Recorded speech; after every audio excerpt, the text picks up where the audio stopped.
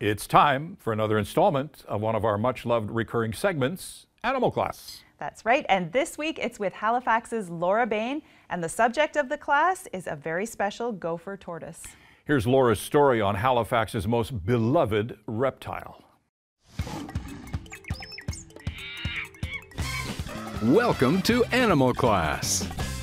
I'm here at the Nova Scotia Museum of Natural History to meet Gus the gopher tortoise, who is actually a full-time resident and a bit of a local celebrity.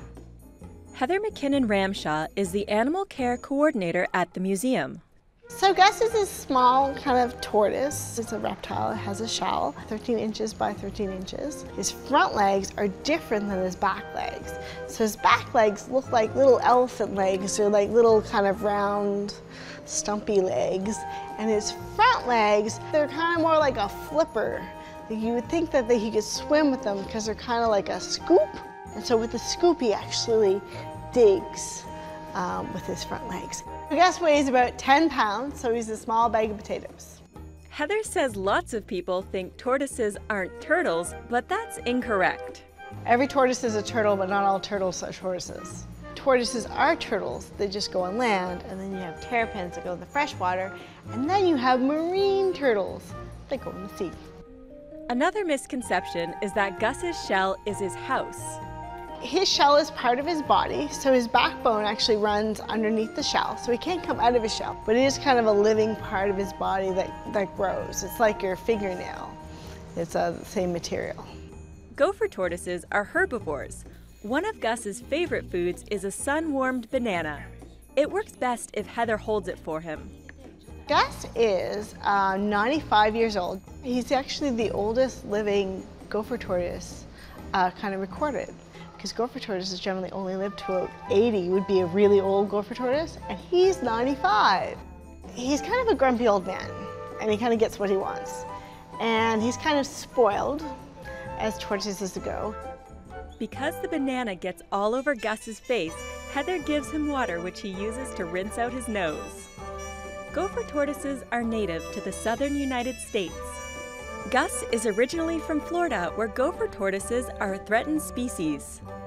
But how he came here is back in 1942, the museum director, John um, Crowdis, actually went down to Florida. He picked up Gus. Gus was an adult when he, when he was purchased.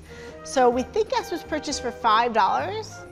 After his snack, I join Heather and Gus as they go for their daily stroll on the lawn outside the museum. He loves being outside and he loves eating the grass. It's actually the best thing because gopher tortoises are like cows with a shell. They like to graze. He's pretty quick actually when we watched, you know, if he gets going, he was faster than you think. Just like gophers, gopher tortoises like to dig long, deep burrows in the ground. At the museum, Gus lives in a plexiglass pen in the lobby. It was a pleasure to visit and find out more about Gus and his kind. For his part, Old Man Gus looks ready for a well-earned nap. You know, I was one of the few kids on my block who didn't have a turtle as I was growing up. Did you? No, I didn't either. But you know, as Heather told Laura, one of the things you need to think long and hard about before getting a turtle as a pet is how long they live. Uh, that's right. If you're like Gus, uh, that's a 95 year commitment. Yeah, well, Gus is an exception for his species, but some of the smaller species, like the painted turtle, can live up to 45 years. Gus sounds sweet, and uh, what a treat for visitors, kids and adults alike. You know, the museum holds a birthday party for Gus every year, so I think it's fair to say that he might be a little bit spoiled? No, they just take really good care of him. Check out his Facebook page. Facebook page? Yeah, you can find him at Gus Gopher Tortoise.